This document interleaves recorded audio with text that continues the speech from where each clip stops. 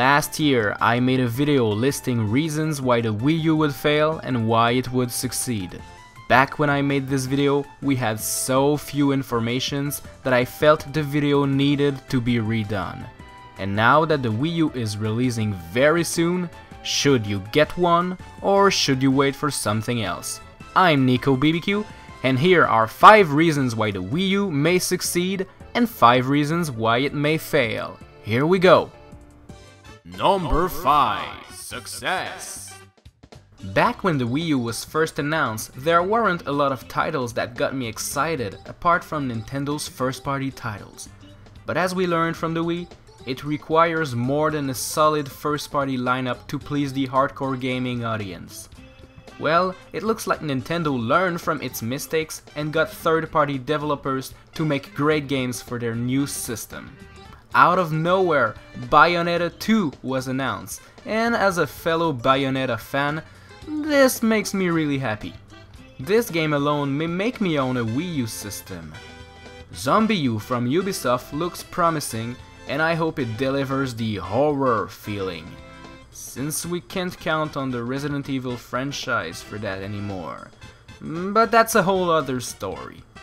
Number 5 Fail the Wii U has 23 games planned for launch day, which is two more than the Wii originally had. However, just like the Wii, most of those games are not very impressive.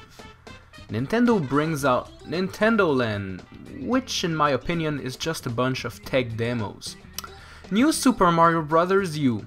It's gonna be good, don't get me wrong, but let's be honest, if you've played one game in the new Super Mario franchise, you've played them all. That's pretty much it for Nintendo.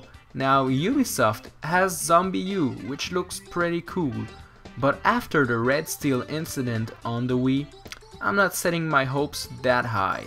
Aside from that, you'll get a bunch of ports like Assassin's Creed 3, Batman, Call of Duty, Ninja Gaiden. It can look promising, but if you are like me and own a current gen console such as PlayStation or Xbox, chances are that you've played most of those games already. Number 4 Success Community may be the most important aspect of pretty much anything. With the Wii, you had to exchange friend codes to have your Miis walking on your friend's Mii parade. Yay! Uh, Nintendo began to figure it out a little more with the 3DS, giving players the ability to know what your friends are playing and giving you the option to join them. That's starting to get cool, but Nintendo really figured it out like a boss with the new Miiverse. Miiverse can be accessed at any time during gameplay without interrupting your games. With Miiverse, you can talk with other players and help each others if you are stuck on a certain part of a game. What is even better is that Miiverse is not only for the Wii U, you will be able to use Miiverse on your mobile devices such as your iPhones, iPads and even your 3DS later on. Now that is what I call building a community. On paper, that sounds awesome. Now let's just hope Nintendo deliver the goods. Number 4 Fail When the Wii was first released, it cost $249.99 and was bundled with Wii Sports. It was an instant success. Only 250 for the Revolution, the new experience everybody was talking about? Whoa, I remember picking a Wii at launch for that price, and I had a lot for my money. The Wii U on the other end is priced at $299.99 for the basic set, which doesn't include any games, so you'll have to pick one up for 60 bucks. This brings the total $100 more expensive than the Wii. Sure, it isn't the same thing and most fans will pick it up, but casual gamers and families might want to pass on the offer, considering it might just be another fad like the Wii. Number 3 Success Something totally unexpected came out of the Wii U press conference back in September, and I name Nintendo TV. You were wondering what that TV button on your gamepad did, right? Well, wonder no more. Nintendo TV gives Wii U owners the ability to watch shows online by using streaming services such as Netflix, Amazon Video, Hulu, and many others. It's a pretty neat feature. Sure, it's not the selling point for the Wii U, but it's great nonetheless. Number 3. Fail. When Nintendo announced Miiverse, they did it by showing us a really cheesy trailer featuring non-specific action figure. I did it! I beat him! I beat him! Did you hear that non-specific action figure? I beat him! I beat him! I know it's pointless and dumb, but I would have loved to have my own non-specific action figure bundled in with the Wii U, just for the sake of being dumb or funny. But no, Number 2. Success.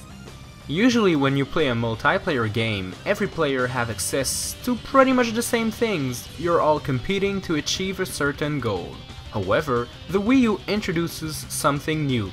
Depending on which controller you use, the gameplay will change. For example, if you play a game with the Wii U gamepad, you will be able to use the screen directly on the gamepad to try new things that other players using the Wii U Pro controller or the Wiimote won't be able to do.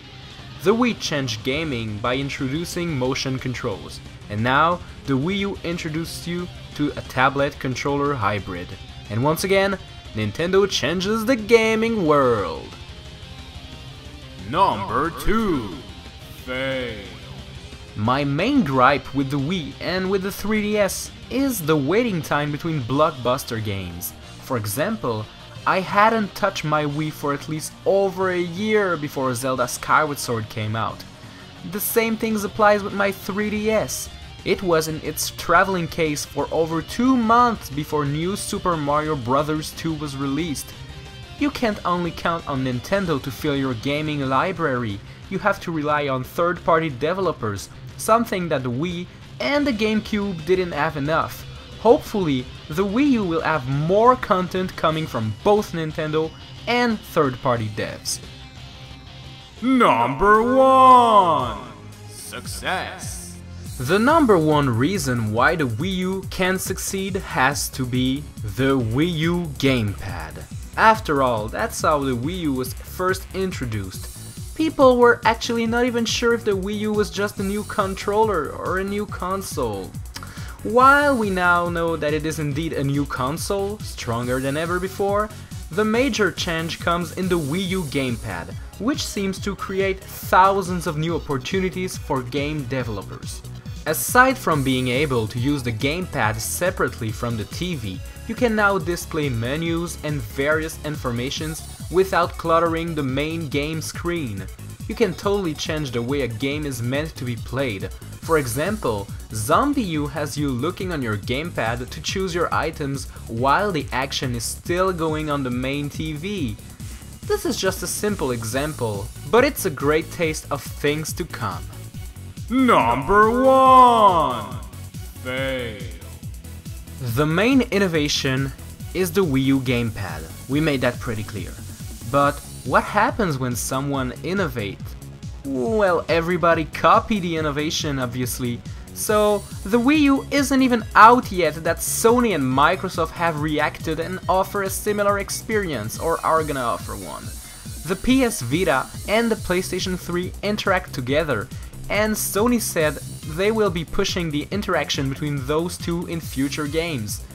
Last E3, Microsoft announced the SmartGlass, which is a tablet that communicates with your Xbox. While they are all a little bit different from the Wii U, let's be honest, this is kind of a ripoff, just like Kinect and PlayStation Move copied the Wiimote. Why can't anyone come up with original content without getting ripped off the year after? This makes me sad, it's just killing the innovation. Now that I've given you 5 reasons why the Wii U may succeed and 5 reasons why the Wii U may fail, I wanna hear what you guys think. Are you guys gonna pick up a Wii U at launch or are you gonna wait? Or are you just never gonna pick one up? And why? Just tell me in the comment section down below. Thanks for watching this video and I'll see you next time.